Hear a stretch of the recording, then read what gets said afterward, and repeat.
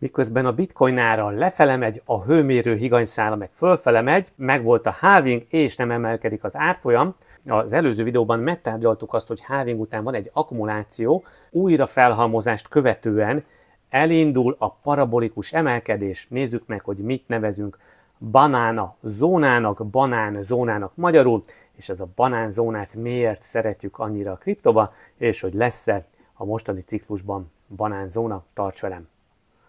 Ha a cryptominds.global weboldalon, ami egy kripto dashboard és oktatási platform, ahol számos ingyenes oktatási anyag is megtalálható, ha a főoldalon lejjebb görgetünk, akkor látjuk, hogy a Bitcoin Rainbow szivárványos, magyarul szivárványos csárt mit is mutat nekünk. Ezt a csártot azért szeretem, mert mutatja a különböző halvingokat. Ugye most vagyunk túl a negyedik halvingon, az akkumulációs szakaszban, az újra felhalmozásos szakaszban vagyunk, és látjuk, hogy ezen felhalmozás egyszer csak véget ér. Még az első halving után is volt egy akkumuláció, de ugye itt még nagyon-nagyon volatilis volt az ár, és látjuk, hogy utána az emelkedés nagyon-nagyon masszív volt, viszont a második halving után látjuk, hogy egy komolyabb visszaesés is történt, volt körülbelül egy ilyen 100-150 napos konszolidációs időszak, és utána érkeztünk el a parabolikus emelkedéshez, és látjuk, hogy ez a parabolikus emelkedés is több, nagyobb, akár 30-40 százalékos eséssel volt tarkítva.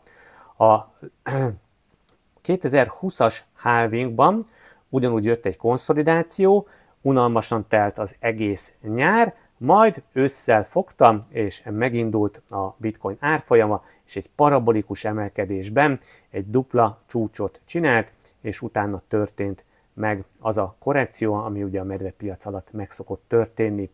Látjuk, hogy most még nem mentünk parabolikus emelkedésben, megtörtént a halving, továbbiakban is az akkumuláció, újra felhalmozás történik, és várva várjuk, hogy akkor elérjünk a parabolikus emelkedésbe, a banán zónába.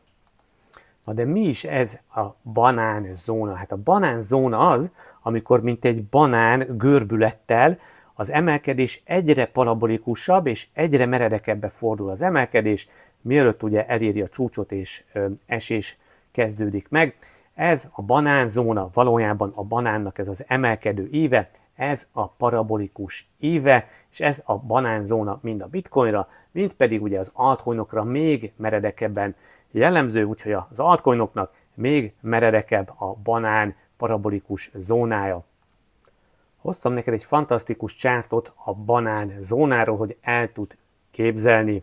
Ezt megtalálod a Twitteren, csinálj magadnak egy Twitter fiókot, és ott kövess be a kukac Miklós Denklert, és meg fogod tanálni, ezt most osztottam meg július 11-én. A csárton világosan látjuk a 2016-17-es Bika ciklus árfolyamát a fekete vonallal, illetve a 2024-es árfolyamot a piros vonallal.